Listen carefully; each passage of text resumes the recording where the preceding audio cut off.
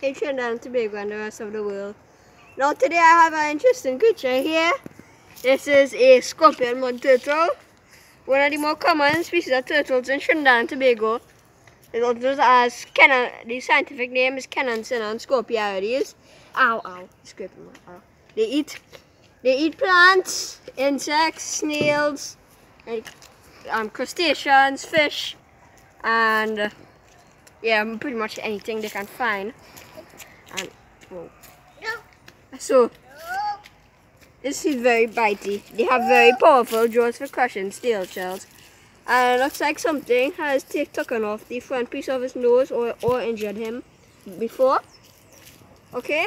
And this, he smells very terrible right now. They emit a very foul smelling odor. And this one is actually a very big, a large one. Right here. So, actually a very large specimen I have here. And, oh.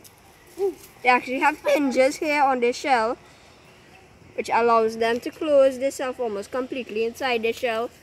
This this is a trick that most turtles can't do.